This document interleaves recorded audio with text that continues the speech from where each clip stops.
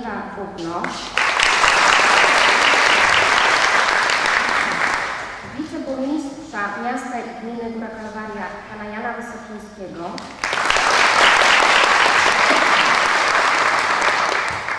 Panią skarbnik Ewę Sobiepanek. Radnych miasta i gminy Góra Kalwaria na czele z przewodniczącym Komisji Oświaty panem Dariuszem Rybko.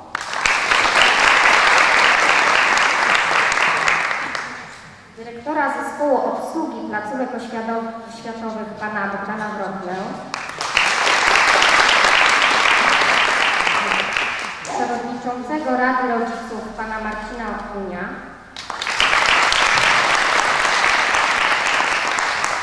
Przedstawiciela księży Marianów księdza Krzysz- Krzysztofa Zambrzyckiego.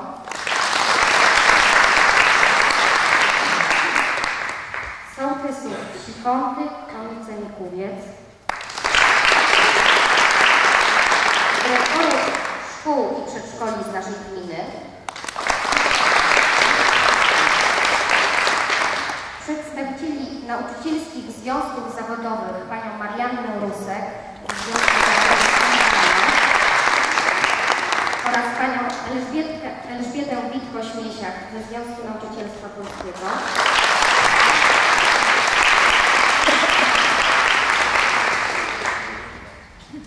W dniu dzisiejszym obchodzimy Święto Komisji Edukacji Narodowej, a także w tym dniu dokonujemy uroczystej prezentacji i poświęcenia sali gimnastycznej. To ważny i radosny moment dla nas, całej społeczności lokalnej w Kątach. Cieszymy się bardzo, że zechcieliście Państwo przybyć i razem z nami dzielić tę radość. Kto dalej, kto wyżej, kto szybciej. Powyższe słowa wiersza Tadeusza Kubiaka pod tytułem Na start przestaną rozbrzmiewać w naszej szkole jako pytania retoryczne.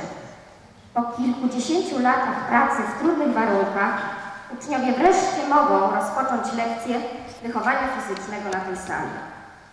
Dziś w imieniu całej społeczności szkolnej i, i lokalnej przekazuję wyrazy wielkiego uznania oraz naszej ogromnej wdzięczności dla wszystkich tych, którzy przyczynili się do powstania te, tego niezwykłego obiektu. Za chwilę zostanie on poświęcony. Dziękuję. Teraz, aby ustrzec uczniów ćwiczących na tej sali od nieprzewidzianych urazów, prosimy księdza Krzysztofa o poświęcenie tego obiektu. Jest mi bardzo miło, że dokonam tego aktu poświęcenia tej sali gimnastycznej szkole, która jest y, imieniem y, naszego założyciela, założyciela Góry Kalwarii i założyciela jednocześnie naszego zgromadzenia Mariana, ojca Stanisława Buczyńskiego, błogosławionego. Wierzymy, że y, nasz patron tutaj z nieba czuwa nad tą szkołą, nad nauczycielami, nad dziećmi, nad wszystkimi, którzy tutaj pracują, strzeże i broni przed wszelkim złem i prowadzi do dobra, prowadzi do Boga. Niech ten akt poświęcenia tego pięknego obiektu będzie naszą jednocześnie modlitwą, naszym dziękczynieniem Panu Bogu za to, że w tym w tej ta mała szkoła w kątach rozwija się, że tutaj dzieci nie ubywa, ale przybywa, że ta szkoła mm, ma coraz lepszą opinię tutaj w środowisku. Y, Bardzo się cieszymy z tego, że ta szkoła pięknieje, że przyciąga y, coraz szersze rzesze dzieci. Pobłogosław tę szkołę, pobłogosław tę salę gimnastyczną. Niech to miejsce będzie y, miejscem szczególnej służby dzieciom, człowiekowi. Niech te dzieci zdobywają tutaj wiedzę, niech się rozwijają zgodnie z zasadą w zdrowym ciele, zdrowy duch. Pobłogosław Pani Dyrektor i wszystkim nauczycielom. Niech otrzymują od Ciebie ducha służby, ducha miłości, ducha poświęcenia tym, którym chcą, których chcą prowadzić przez Chrystusa Pana naszego. Amen. Ojcze nasz, któryś jest w niebie, święć się imię Twoje, przyjdź królestwo Twoje, bądź wola Twoja w niebie, tak i na ziemi. Chleba naszego przyjmujemy dzisiaj i odpuść nam nasze winy, jako i my odpuszczamy naszym winowajcom. Nie wiedź nas na okuszenie, ale nas zbaw od złego. Dobrze Boże, pobłogosław poświęć tę salę gimnastyczną, spraw na te dzieci tutaj y, ćwiczące, pracujące, niech będą bezpieczne pod Twoją opieką. Przez Chrystusa Pana naszego. Amen. Wszystkim nauczycielom i uczniom y, pragnę życzyć wszelkiego dobra i udzielę błogosławieństwa. Pan z Wami. I Was błogosławi Bóg Wszechmogący, Ojciec i Syn i Duch Święty. Amen. Sala jest poświęcona. Wszystkiego najlepszego. Bardzo księdzu. Proszę teraz burmistrza miasta Gdyby, kurator Warta. Pani Dyrektor, Szanowni Nauczyciele, pracownicy obsługi administracji, Szanowni goście, drodzy uczniowie. Tak jak Pani Dyrektor podkreśliła, co roku świętujemy Dzień Edukacji w każdej innej placówce. Jest to chyba dobry sposób dla reprezentowania dorobku szkoły, ale jednocześnie do tego, co w tym okresie w danej placówce się wydarzyło. Moi drodzy, Dzień Edukacji to jest nawiązanie do roku 1773, do powołania Komisji Edukacji Narodowej. Działalność tego pierwszego Ministerstwa Oświaty w Europie z historycznego punktu widzenia jest trudna do przecenienia. Natomiast zdajemy sobie sprawę, że wielkim dorobkiem tego organu, wielkim dorobkiem oświeconych polityków było to, że potrafili spojrzeć w przyszłość. Że potrafili w tym momencie ocenić, że takie będą losy naszego narodu, jakie będzie młodzieży chowane. W tym momencie chciałbym wrócić do słów kanclerza Jana Zamojskiego. Słów, które wydają się w tej chwili banalne, spowszechniałe, są pewnym rodzajem truizmu, ale jakże prawdziwe mimo upływu ponad 200 lat. Rzeczywiście, takie będą losy naszego narodu, takie będą losy Rzeczypospolitej, jakie będą młodzieży chowanie. Chyba jest to prawda. Prawda, która również ma odniesienie do współczesnych czasów. Zawsze mówimy o święcie edukacji, o roli wychowania, o roli dydaktyki w różnych sytuacjach. Nie tylko przy okazji święta edukacji, ale również w polemikach, debatach, rozmowach samorządu. Zawsze dochodzimy do wspólnego konsensusu, że wychowanie młodzieży jest bardzo ważne, że od tego zależy nasza przyszłość, że od tego zależą losy kraju, losy naszych lokalnych, samorządowych społeczności. Szanowni Państwo, ja słowa kanclerza Jana Zamojskiego odbieram jako słowa skierowane do wielu adresatów. Przede wszystkim również dla nas, dla lokalnych polityków, dla samorządowców, dla polityków krajowych, dla rządu. Bo przecież to od nas, od naszej troski, od naszych priorytetów zależy w jakich warunkach będzie rozwijała się polska oświata. Owszem, ktoś powie, no tak, tylko za tym kryją się pieniądze. I rzeczywiście zgadzam się, za tym kryją się pieniądze, tylko my te pieniądze powinniśmy umiejętnie dzielić i racjonalnie wydawać. Te słowa Zamojskiego skierowane są również do, a może przede wszystkim do nauczycieli. No moi kochani, to przecież od Was zależy, jaka będzie jakość dydaktyki, jaka będzie jakość wychowania. Te słowa skierowane są również do rodziców, bo wiemy, że szkoła bez z rodzicami nie w pełni wypełni swoje obowiązki. To Wy jesteście wzorem dla swoich dzieci. To Wy stawiacie im pierwsze zadania. To Wy kierujecie i wybieracie drogę im wychowania. I wreszcie słowa na pewno są adresowane do dzieci i młodzieży. Bo to przecież od Waszych ambicji, od Waszej moty- motywacji, od Waszego podejścia do obowiązku zależy, jakie będą wyniki nauczania, wychowania. I podsumowując, właściwie mogę stwierdzić jedno, że tylko współdziałanie na wszystkich tych obszarach może przynieść dobry efekt. A tym dobrym efekt, efektem jest dobre wyniki pedagogiczne, ale również i społeczne, bo tak jak już powiedziałem na wstępie, ma to wielkie odzwierciedlenie dla przyszłości naszych lokalnych ojczyzn. Szanowni Państwo, wszyscy wiemy, że zawód nauczyciela pociąga za sobą ogromną wiedzę. Że zawód nauczyciela, od zawodu nauczyciela wymaga się również talentu pedagogicznego, bo nie tylko wiedza, ale umiejętność przekazania tej wiedzy jest istotna. Ale wiemy również, że nauczyciele borykają się z codziennymi problemami.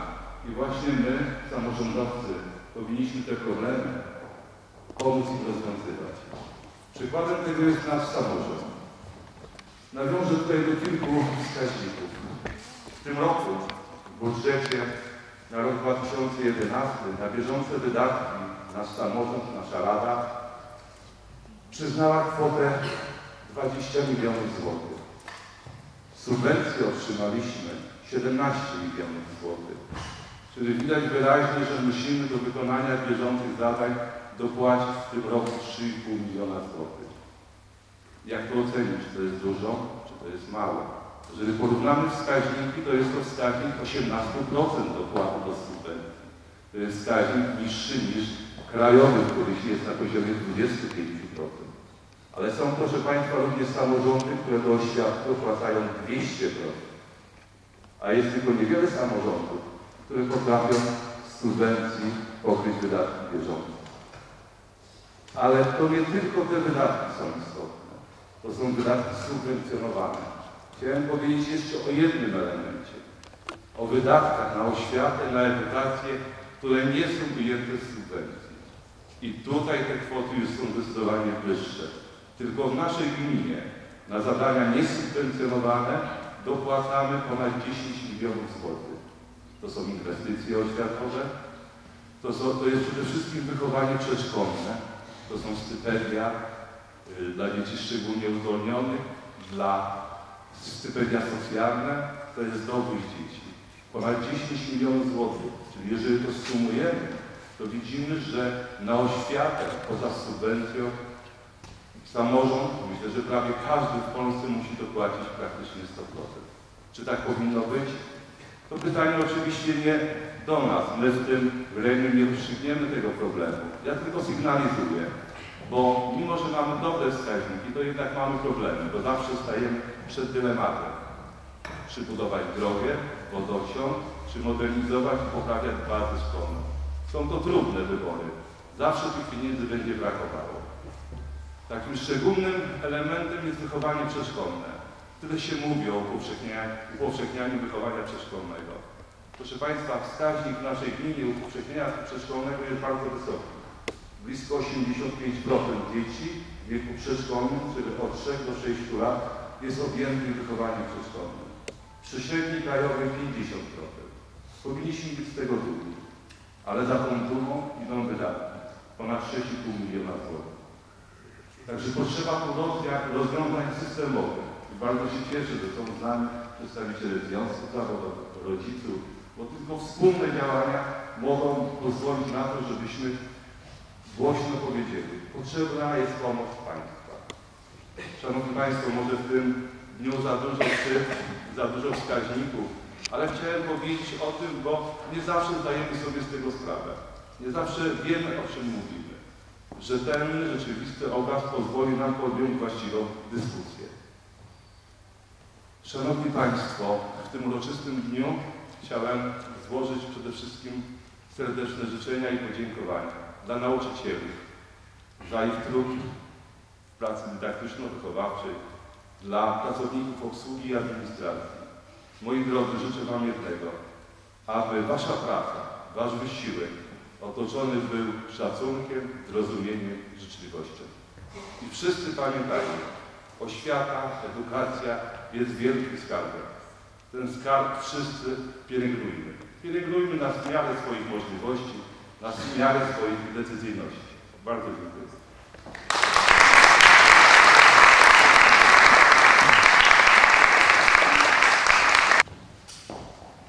Szanowni Państwo, dziś 14 października przypada rocznica Dnia Ustanowienia Konstytucji Edukacji Narodowej, organu, którego zadaniem była gruntowna reorganizacja systemu oświaty Rzeczypospolitej obojga narodu. Ze szczególną dbałością o system, ramy programowe oraz poziom kształcenia. To także dzień święta tych, którzy podjęli się trudnego zadania szczepienia i pielęgnacji krzewu wiedzy w umysłach młodych Polaków, czyli wszystkich nauczycieli. W tym dniu nie sposób uniknąć ogólnej refleksji nad sensem oraz celem edukacji. Zapewne o sensie i celu nauki wiele do powiedzenia mieliby sami uczniowie, szczególnie gdy muszą przygotowywać się do sprawdzianu lub z nienacka zostaną wywołani do odpowiedzi. Jednak nie chodzi przede wszystkim o dostrzeżenie zależności między kształceniem młodzieży a narodem, który tworzy państwo. Pozwolę sobie raz jeszcze po panu burmistrzu zacytować Hetmana Jana Zamojskiego, który będąc wnikliwym obserwatorem współczesnej rzeczywistości zauważył, takie będą Rzeczypospolite, jak i ich młodzieży chowa. Ów pochodzący z XVI wieku cytat jest dzisiaj pomimo znacznych przemian kulturowych i społecznych zachodzących na przestrzeni dziejów niezwykle aktualny. Niewątpliwym truizmem będzie stwierdzenie, że przyszłość naszego kraju są młodzi obywatele. To oni wezmą kiedyś na swe barki odpowiedzialność za losy Polski. Jednak trzeba mieć na uwadze, że przyszłość kraju zależy w znacznym stopniu od tego, czego dzisiaj nauczymy nasze dzieci. Jaką wiedzę, jakie umiejętności będą one posiadały oraz jakimi zasadami etycznymi, moralnymi będą się kierować jako dorośli Polacy. To znowu zależy od tego, co nasze dzieci wyniosły poza mury swojej szkoły, co zostanie w ich umysłach z lat spędzonych w szkolnej ławie. Jedynie solidne wykształcenie, ale nie tylko pod względem wiedzy teoretycznej, ale też takie, które kształtuje świadomość narodową i buduje moralność, oparte nauką umiejętności samodzielnego myślenia i odpowiedzialnego podejmowania decyzji, daje gwarancję tego, że nie będziemy, że będziemy, przepraszam, mogli spojrzeć z ufnością i nadzieją w przyszłość naszego narodu. Tylko świadomość, że nigdy nie zaniedbaliśmy żadnego z aspektów edukacji, że najlepiej jak potrafimy, przekazaliśmy naszym dzieciom wiedzę i doświadczenie, może dać nam pewność co do tego, że pozostawimy nasz kraj w dobrych rękach. W tym kontekście nie sposób przecenić roli nauczyciela. To Państwo swoją codzienną pracą tworzycie przyszłość naszego kraju. To na Was spoczywa odpowiedzialność za wykształcenie naszych dzieci. Mówię o tym, ponieważ chcę przypomnieć wszystkim, jak wiele szacunku i wdzięczności należy się nauczycielom. Dlatego też w Dniu Święta Nauczyciela chciałbym życzyć Państwu satysfakcji pracy zawodowej, wiele cierpliwości, dużo zapału oraz samych grzecznych i rządnych wiedzy uczniów. A także, aby w Waszym przypadku powiedzenie, obyś cudze dzieci uczył, nigdy nie okazało się trafione. Dziękuję bardzo.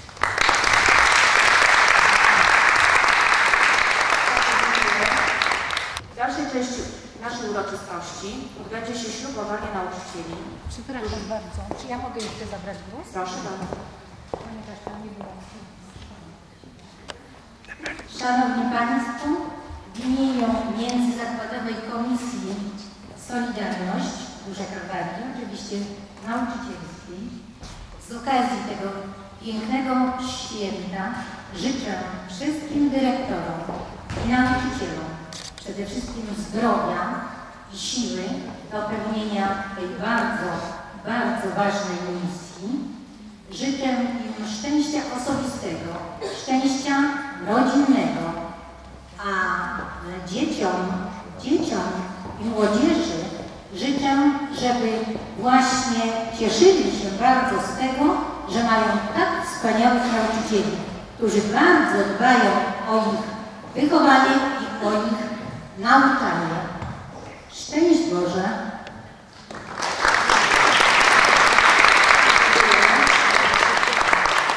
Teraz odbędzie się ślubowanie nauczycieli, którzy w tym roku uzyskali stopień nauczyciela mianowanego. Wraz z wręczeniem aktu nadania tego stopnia. Poproszę pana Marcina Antoniewicza o odczytanie roku ślubowania. Ślubuję rzetelnie pełnić powinność nauczyciela wychowawcy i opiekuna młodzieży, dążyć do pełni rozwoju osobowości ucznia i własnej, kształcić i wychowywać młode pokolenie. W duchu umiłowania ojczyzny, tradycji narodowych, poszanowania Konstytucji Rzeczypospolitej Polskiej. Tak mi dopomóż Bóg.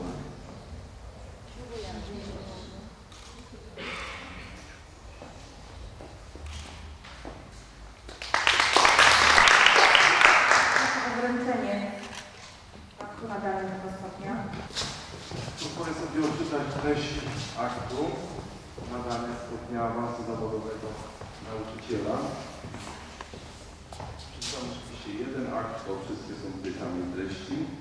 Na podstawie artykułu 9b ust. 4 punkt 2 ustawy z dnia 26 stycznia 1982 roku Karta Nauczyciela Dziennik Ustaw z 2006 roku nr 97 pozycja 700 674 ze zmianami. Po przeprowadzeniu postępowania egzaminacyjnego na wniosek złożony w określonym dniu i uzyskaniu zaświadczenia o zdaniu egzaminu przed komisją egzaminacyjną powołaną przez burmistrza miasta i gminy Duże Kałwani nadaje, mimo że pierwsze nazwisko imienie, łódzki stępień, stopień nauczyciela mianowanego, posiada Pani wykształcenie wyższe, magisterskie z przygotowaniem pedagogicznym.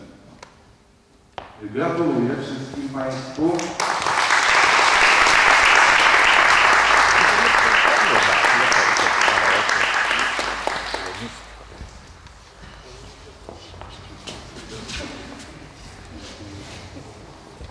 Nadania stopnia awansu zawodowego również mam przyjemność wręczyć Pani Jolancie Marii Mirosław.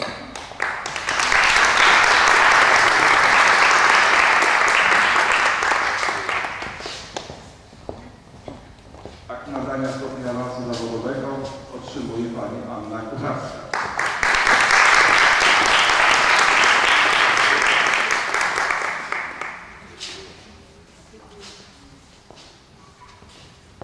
Akt nadania stopnia awansu zawodowego otrzymuje Pani Agata Dybaczyńska.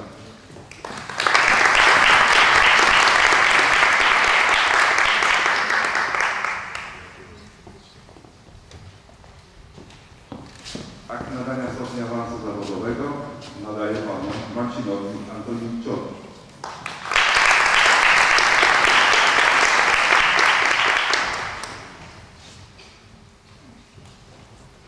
Akt nadania stopnia awansu zawodowego nadaje Pani Marcie Dolocie, Dolocie Ry- Ry- Ry-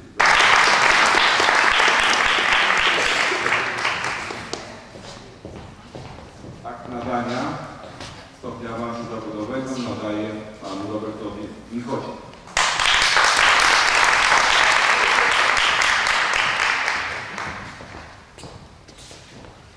Akt nadania stopnia awansu zawodowego nadaje Pani Katarzynie Czech.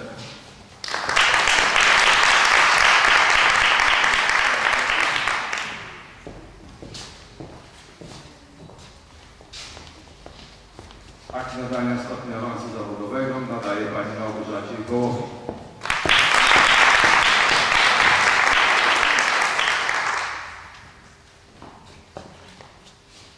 Jeszcze raz serdecznie gratuluję wszystkim nowo mianowanym nauczycielom na stacji nauczyciela mianowego, mianowanego. Ja tylko podkreślę, przypomnę, że mamy wspaniałą kadrę pedagogiczną, bardzo dobrze przygotowaną, o wysokich kwalifikacjach. Bardzo często są to absolwenci nie jednego, ale dwóch kierunków y, y, pedagogicznych, a często również studiów podyplomowych.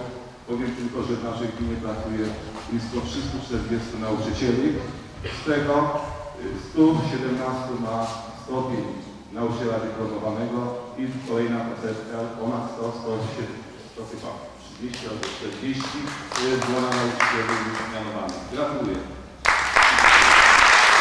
Poczet sztandarowy wyprowadzić sztandar.